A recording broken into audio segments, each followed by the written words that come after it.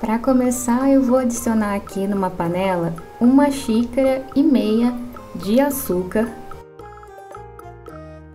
Vou colocar também o amendoim. Eu estou usando aqui 300 gramas de amendoim.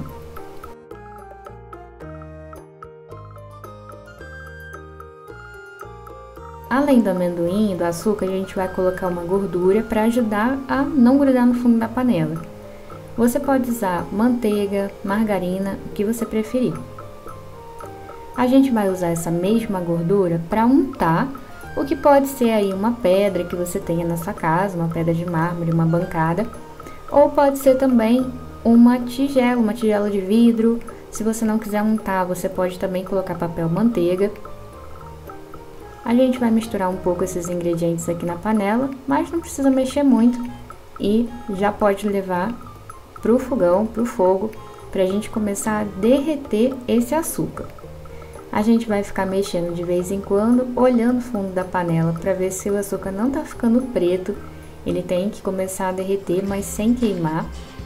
A partir desse ponto, eu tirei dessa boca da frente e coloquei numa boca menor para diminuir um pouco o calor. Já pode colocar o leite condensado. A gente vai colocar uma caixinha e vai misturar. A princípio parece que vai dar errado, mas é só você ir mexendo com calma, desgrudando ali do fundo da panela.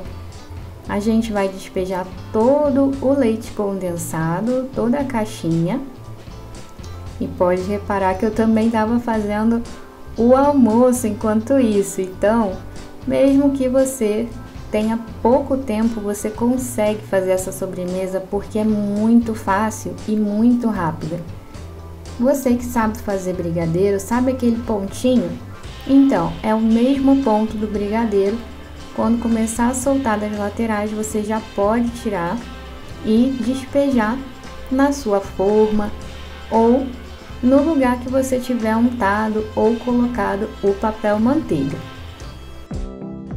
A gente vai deixar esse doce aqui até ele esfriar, secar e aí a gente pode vir com uma faca e ir cortando. Dependendo do ponto que você deixar o seu brigadeiro, esse doce vai ficar mais molinho, mais cremoso ou mais durinho, como um pé de moleque. Eu deixei o meu açúcar passar um pouquinho do ponto, então vi que ele ficou bem dourado, bem marronzinho, mas olha, o gosto ficou muito bom, mesmo o açúcar tendo passado um pouquinho do ponto. E olha, eu sou suspeita porque eu amo esse doce, mas para mim ficou muito bom, ficou uma delícia. Se você fizer, tira aquela foto e me marca lá no Instagram. E se você está gostando desse vídeo, deixa para mim o seu gostei, compartilha esse vídeo nas suas redes sociais, mostra para todo mundo essa receita, que vai que aquela sua cunhada, aquela sua amiga faz esse doce e leva aí na sua casa para você. Já pensou? Que delícia, hein?